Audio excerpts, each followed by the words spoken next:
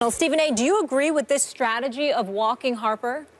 Absolutely not. And I think it's a disgrace, and I think it robs baseball fans. Um, and I think it's ultimately going to, to going to crucify the sport. Uh, listen, you know, I, I, read an article from the Washington Post back in April of 2015 where Commissioner Rob Manfred said at the time, if I'm quoting him accurately, he said the biggest single uh, predictor or indicator of a sport of interest in the sport and the avidity uh, of a sport is, uh, you know, whether or not you played as a youth. And what you're finding now is that the sport itself it hasn't successfully gone about the business of ingratiating itself with the youth of America because it's perceived as being, and primarily it is, a thinking man's game. It's certainly not to say that you know, baseball players are devoid of skill. Of course, they have tremendous skill.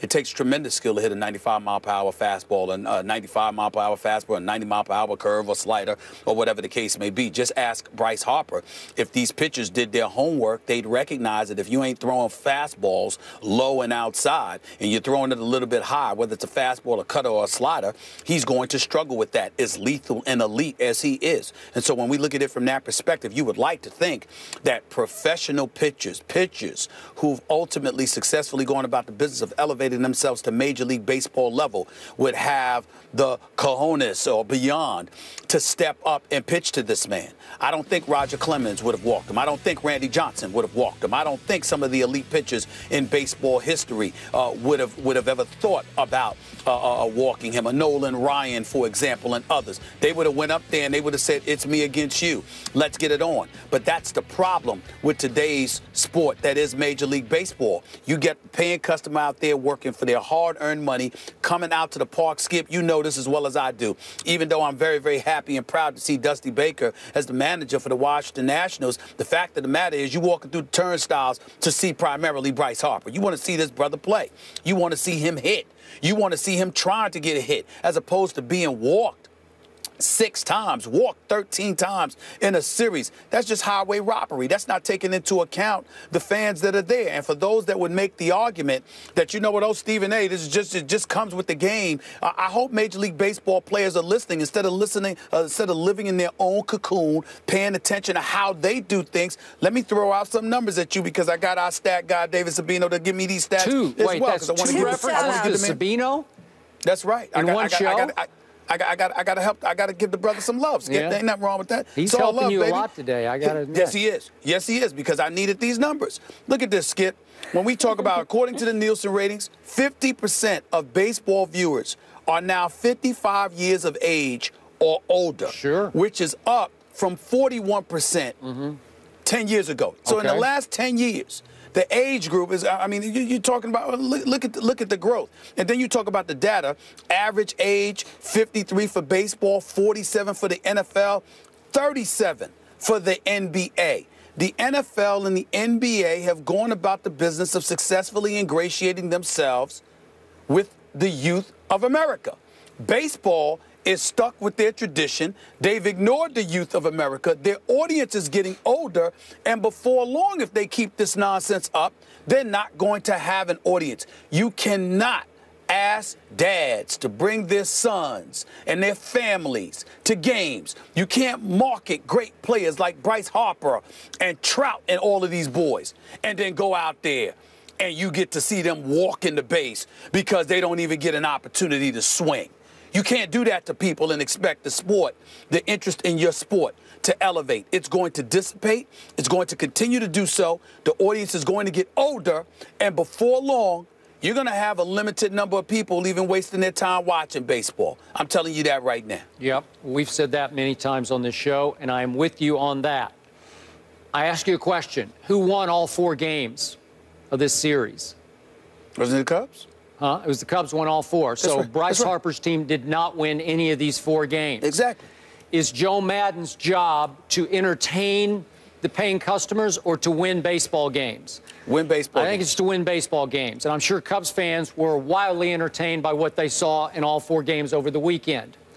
It is not Joe Maddon's fault that there's a huge loophole in the rules. And I get what you say about the competitive spirit of the game is you just challenge. I got to tell you, for, from my heart, I covered Barry Bonds' astonishing run to the home run record in 2001. August, mm-hmm. September, I attended many of the games home and away, covered most of them. Mm-hmm. I can't tell you how many times I sat back and thought, if I were the opposing manager, I would walk Barry Bonds every time, every time, because his lineup protection, the guy hitting behind him in the cleanup spot, was Jeff Kent. You remember Jeff Kent? Yeah, the guy no. you called Jeff Kent. Jeff Kent. Thank you, because he couldn't right. in those spots. It, the, the, the stage was too big for him to protect Barry, to take advantage of. Barry's walked, so now I got to cash in. He just couldn't do it enough. He was a nice player, a very good player, but he wasn't that guy. He, he wasn't that guy through that stretch run. My point is, neither is Ryan Zimmerman. He's a one-time All-Star. When was Ryan? Back in 2009. He's hitting 236 right now. He went two for 15, did Ryan Zimmerman in this series as the lineup protection to Bryce Harper. So my point is, th- this is the opposite of hack a whomever in, in pro basketball because in that case, you're taking advantage of the opponent's glaring weakness. That guy can't shoot free throws. In this case, you, you are eliminating the opponent's greatest offensive strength because the rules allow it. Because to me, even though the seam heads, the, the Moneyball guys, keep telling me, oh, but, but that'll come back to bite you. It'll come back to haunt you if you keep putting that guy on first base, first base, first base. Baloney, it will. It's Bryce Harper, about, about the closest thing, it's Har- Trout or Harper, that we've seen to Barry Bonds in impact, offensive impact I'm putting him on every time because it is psychologically debilitating to the whole team.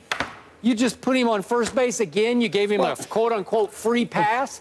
If I'm the opposing manager, I'm walking Bryce Harper every time. You could scoff at me, laugh at me, ridicule me. I'm well, going to win to. the game. It's going to improve my chances to win by putting you on first base seven straight times if that's what I have to do. I'm you sorry, know, but, but, it's a but, loophole in the rules. I know it's a loophole, and I know factually you're correct, but it doesn't mean that your position is any less shameful. You're talking about competition. You're talking about sports. Skip Bayless, if this is the playoffs, although I would never justify six times, you understand it. If you're going after a pennant, you, you understand it. It's May. It's May, and you, you you're walking a guy six times in a month of May. That just shows that you're not thinking about the fans at all, and you're not thinking about the entertainment He's aspect. Not. You're not. I understand that, and so uh, what I'm saying to you is, you wouldn't have a problem with that. But I would because last I, time I, I checked, hold, yeah. let me finish. Yeah. Matt, last time I checked, Joe Maddon ain't ain't managing for free. He's getting that money from somewhere. Where the money come from? It comes from the fans who patronize your sport.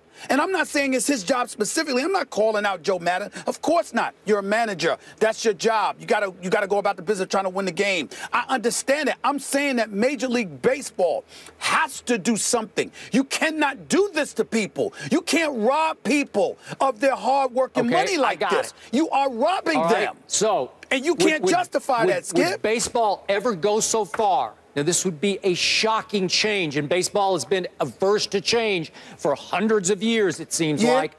Okay. Yeah. Could you change it to where if you walk a guy a second time, he gets second base, and a third time, he gets third base? Would they do that? Well, well, well, well you're going into the specific remedy, mm-hmm. and I mm-hmm. respect that. I'm saying to you, that's your way of saying it. You know what I would do? I would uh, I would mandate eradicating intentional walks from the game. Me, me personally, I'm telling well, you that's I know, extreme. But how do you, you can you can unintentionally intentionally walk. I, I, understand that. Intentionally, unintentionally. You know, I understand you, you don't that, have but to it do would be for you know. Okay. I understand it, but it would be harder to get away with if you know you have literally by rule eliminated the intentional walk. I know that's extreme. I know that robs the sport of strategy. I get all of that. I know, but it, but but but it's, it's you're, in danger of of, of, of, damaging the sport when you do. I'm telling you right now, Skip. I, I how many times have I told you the story about how I went I to New York you, because you Barry Bonds doesn't come to Yankee Stadium, I got and they, it. I was so disgusted. I got it. I was so disgusted. I know. I'm with you. But but again, they didn't care. The the Yankees were trying to. It was Yankees, right? I know. Sanford, they were trying to win the game. Why don't you take the bat out of Barry Bonds' hands? Because the rules allow you to. It's, it's well, let me the... ask you this question. Let me ask a question that Skip. And see, this is where to me your argument goes awry. You know Nolan Ryan. You can go back to the days of Bob Knew Gibson. well. You could give me Randy Johnson. Would they have ever done that? Nope. They- Too much see, Stop right there. Stop right there. Stop right there. Yeah. That's what I'm talking about. Okay, how many I'm of those saying- guys were there? Or are but wait a minute. Wait a minute. I'm talk, but that's what I'm talking about. I'm talking about. Excuse me. You have to sit up there and deal with this man. That's what sport is supposed to be about. And nobody flagrantly robs the viewing public of that reality more so than baseball. Okay, is but you- that disputable? You- is you- that disputable? It's not, but you cannot legislate competitive spirit. You you, you have to. You can you're, You're gonna have try. to change the rules. You, can see- try. Well, you. You can- that's all so I'm you saying. tell people have the guts to stand up to Bryce Harper and throw in fastballs. I, I'm, not, no, I'm not saying fastball. I'm saying you have to picture. You have to pitch to the man. You can't sit up there and ask people to come and watch folks play and then walk the star, the number one gate attraction. Walk Okay, this I- man I six got it. times. But but would you rather pitch to Ryan Zimmerman or Bryce Harper? Of course, I, we know the answer to that, Skip. That's a given. That's a given. But what I'm saying is, let's take the you you talk the foul with DeAndre Jordan, the Yeah. Andre Drummonds of the world, Yeah. and all of that. stuff. We understand. But Skip, over the last two minutes, what happens? You're not allowed to do certain They things without, uh, without Yeah. punitive damages because they said you can't just continue Okay. to do this and circumvent dealing with uh, uh, Chris Paul or Blake Griffin or somebody. You got to play. Okay, if, if you did the one more base for each additional walk, then look what hap would have happened yesterday with Bryce Harper. He'd be scoring on walks. Like his last, what, three or four walks, he would just score. Like, oh, you just put him on home plate. Way to go. Okay, that might I stop got you. it. Oh, oh, I, I, oh, oh, my, I'm not even arguing the specifics with you because I understand there's a, a plethora of things we could come up with to alleviate the problem in some capacity. I'm just speaking about baseball and the dissipated level of interest on the part of the younger generation, and I'm highlighting this as a primary cause it of is. it. Other sports, you get to live in the moment. I agree. Yep. Baseball guys, you just sitting out there eating, you know, eating sunflower seeds with your shades on. Yeah. They could smoke a cigar in outfield, outfield for crying out loud. It's ridiculous. It is. It's I'm with ridiculous. you. I agree. All right, you know who else is not robbing the public of his presence? That would be Sam Bradford. He returns to Eagles camp today. The guys will tell you what they make of it after the break. Stay with us.